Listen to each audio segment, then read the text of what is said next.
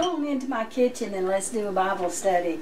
We're, we're talking about Wives of the Bible. It's a little book I wrote a few years back. It was published by Pathway Press in Cleveland, Tennessee. And you might wonder, well, why are you qualified to teach a Bible study? Well, for one reason, I've been married to the same man for 61 years. This October 26th will be 62 years. So I think that qualifies me. Plus, I've been teaching the Bible since I was 18 years old, so that's another reason.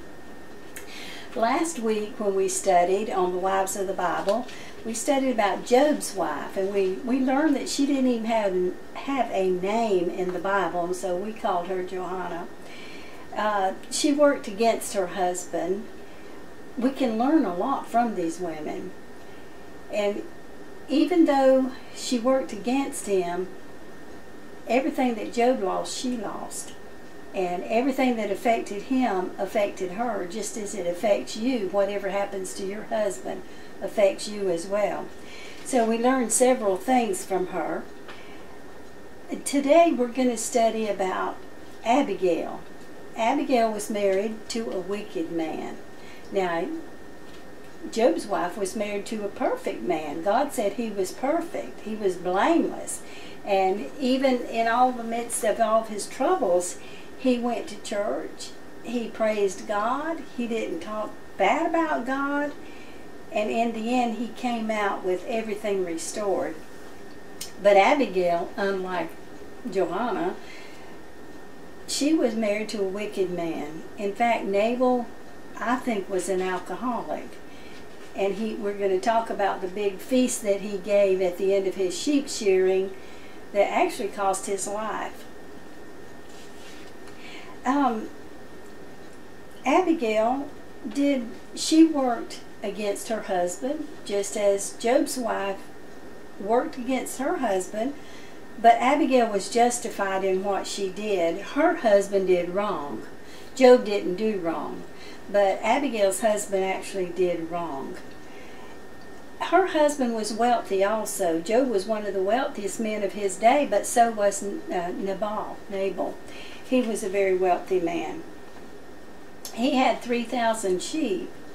And, you know, there's, there's a sheep farm right down the road here. And then there's another one right down this other road and I pass sometimes and I look at the sheep and I've never really counted the sheep but I would I would guess an estimate that there may be 30 35 something like that. So it's hard for me to imagine and envision 3,000 sheep. And how many shepherds would you need to tend to 3,000 sheep? Well one day Nabal was having a I keep saying Nabal. Actually, in the Bible, it's it, the accent is on nay, Nabal. So I'll try to remember to pronounce his name correctly. Nabal was having a sheep shearing. It was that time of year that they sheared the sheep, and some of David's men came riding up while Nabal was working very hard, and asked a favor. They said, David has sent us. We're David's men, and he has sent us, and he asks that you feed us, that you give us food for him, for us, for his men. Because all through the year we have been protecting your sheep and your shepherds. We've guarded them, we've watched over them, we've spared their lives sometimes, and we've protected them, and we're just asking for the, a favor of food in return. Well, Nabal, his name is um, means churlish or wicked. He was a very wicked man. And he said, I don't know that you're from David. I, who is David anyways? And he just blah, blah, blah, and sent the men away and said, get out of here and let me do my work. And they left. And one of the servants tried to tell Nabal that these are David's men and they did protect us and they watched over us all through the year. But he wouldn't listen. So the servant ran to tell Abigail, Nabal's wife. She and he said, "We've got to do something, Miss Miss Abigail. We've got to do something. David will bring his army and he will kill every person in this household because of the way David's or because of the way your husband Nabal spoke to them." So she quickly loaded up donkeys of food she got bread and wine and fig cakes and just a multitude of things. It's all in 1 Samuel uh, chapter 25, verses 1 through 42. and you, you'll want to read that and see what all she loaded on these, uh, on these donkeys and had the men to take to, to meet David. And she got on a donkey, left her house, and rode toward where David was camped. Now David was running from Saul because Saul wanted to kill his life. David had been anointed king of Israel, but he had not taken over as king yet because Saul was still alive. Very interesting stories are in the Bible. Um, she rode on her donkey until she came face to face with David and 400 men that he had rounded up to go and kill her household and do away with Nabal she got down off of her donkey. She got down on her knees and then bowed down to her face before David. And she spoke such kind words to him. And she, she said, I know that God is with you, and, and do I have permission to speak to you? She said, I wasn't Please don't blame me for what happened this morning. Had I known that you were there, I would have sent food. And, and now, my Lord, I have brought food for you and your men. And she said, The Lord is going to make a strong house of, of you because you're a godly man and you fight the battles of the Lord. And even though a man seeks to kill you, she's referring to King Saul, she said, Your life is in God's hand, and He will sling your enemies out like a man slings a rock out of a slingshot.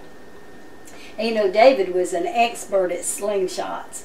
He had killed a giant with his slingshot and one stone. So he knew exactly how, and that touched his heart that she said that. And then she said, When you become king, as the Lord has appointed you to be, you will not have any regrets about today You'll be glad that you did not try to avenge yourself and shed the blood of innocent people. When you become king, my lord, remember me, your handmaiden. And then she ended her speech and raised her eyes to meet his again. David was moved. He was so moved by this woman's speech. Do you know your words are powerful? The things that you say to a man or to a husband can change their life for good or for evil. All through the Bible, we see how women influenced men. That's that's just a gift that God has given us to be able to speak to people and help them. So, are you helping your husband? Now, when when she got home, Nabal's party was in full swing the men had been cooking, some of the servants had been cooking all day. They had slaughtered many of the sheep to eat and they were they were having a big feast and they had plenty of wine.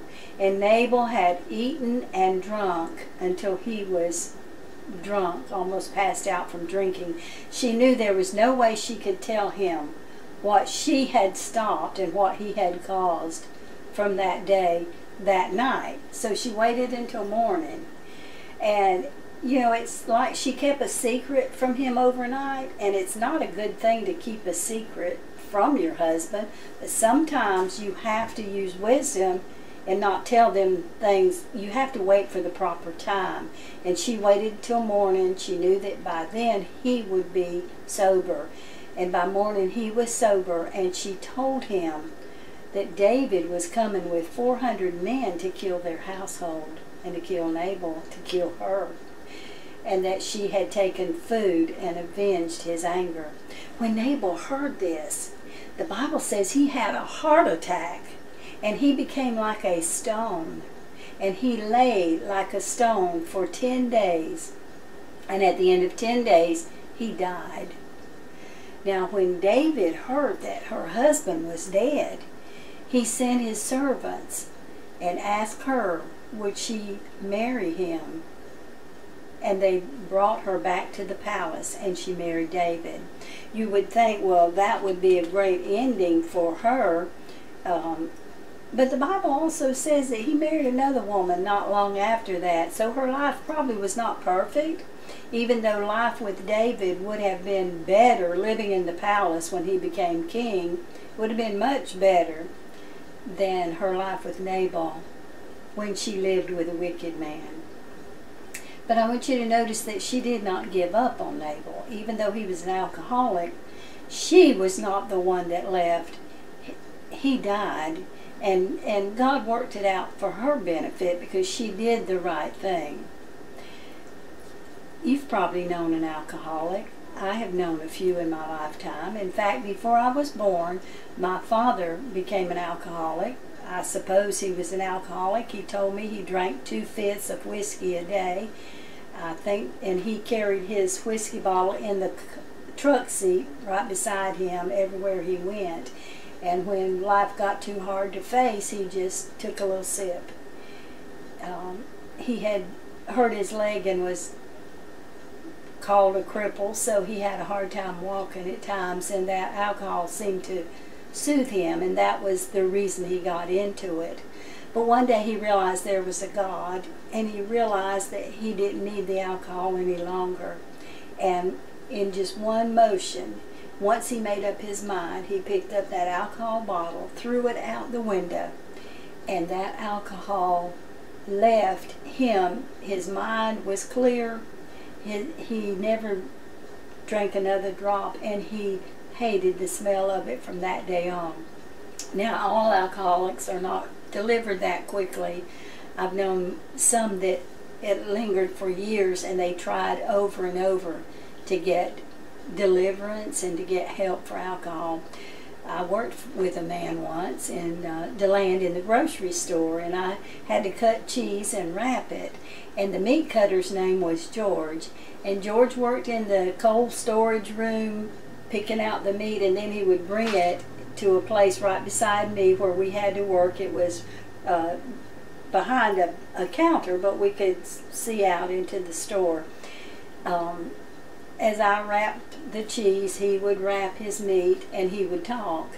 And one day he said, that, like the first day I was there, he said, let me tell you what God's done in my life. And I said, okay, and then I'll tell you what he's done in my life.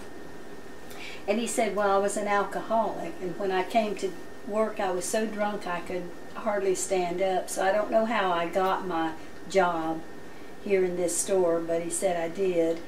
He said, not long after I started to work here, my wife was saved. She went to a little church not too far from our house. And she was saved, and she started asking me to go to church, and I wouldn't. But the pastor came to my house, and he said, George, Jesus loves you, and he wants to help you, and I want you to come to church. And George said I would curse him, and I'd say, get out of my house, and don't you ever come back, and call him all kind of names. But he said the next day he would come back, and he did that day after day. Every day he came to my house. Every day I cursed him and told him to get out of there. But finally, one day I said, if you will stop coming and bugging me, I'll go to church one time. And the pastor said, okay. So George said, I went to church, and I went to the altar, and I thought I got saved. I gave everything up to Jesus and I thought I was over alcohol, but he said in a few days I took another drink and I was right back on it. And he said the pastor came back and he said, George, God loves you. Jesus loves you. He died for you. Come on back to church and let us pray for you. And he said he went back and he continually kept falling back off the wagon and going back to the alcohol. But he said the preacher would not give up on him. He just kept coming and saying, George, come on back and let God help you. And he said, I kept going back. And finally, one night or one morning, I went to that altar, I prayed, and God delivered me. And he said, now I can't stand the smell of it. And George was constantly going around to people that came in the store and they would have their buggy full of alcohol beverages and he'd say, you know, you don't have to drink that. God will deliver you. But one thing he said that I've always remembered, he said, don't ever give up on an alcoholic. Keep praying for them. Keep telling them that God loves them and that He will deliver them. I'm glad that Abigail didn't really give up on her husband. She did the right thing, even though she lived with a wicked man. Now next week we're going to we're going to talk about another wife of the Bible. We're going to talk about Michal. And Michal lived with embarrassment. And you want to watch and see what the embarrassing thing happened in her life that she got so upset about. So I'll see you next week.